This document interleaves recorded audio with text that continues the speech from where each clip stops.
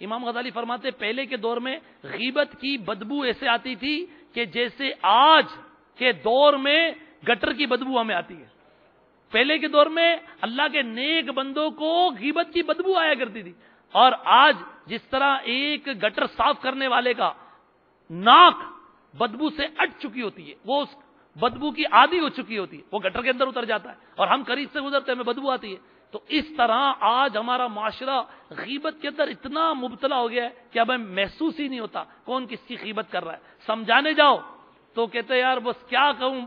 مجبور ہو گیا تھا میں۔ بس مجبور ہو گیا تھا۔ یعنی کہ اس میں کوئی تعریف والی بات ہی نہیں ہے۔ میں بس برائی ہی برائی ہے اس میں۔ اس میں خامی ہی خامی۔ خیر کے ساتھ کوئی تذکرہ نہیں کرتا۔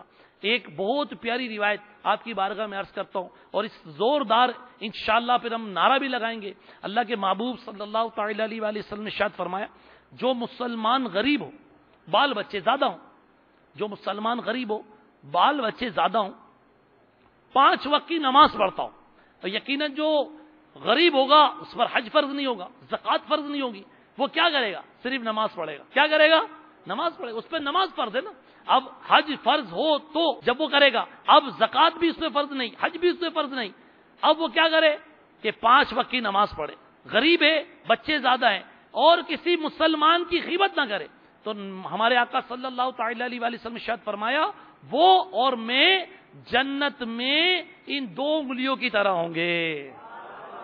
غیبت کے خلاف جنگ۔ نہ غیبت کریں گے، نہ سنیں گے۔ قبل مدینہ۔ انشاءاللہ۔ اللہ تعالی ہم سب کو عمل کرنے کی توفیق عطا فرمائے۔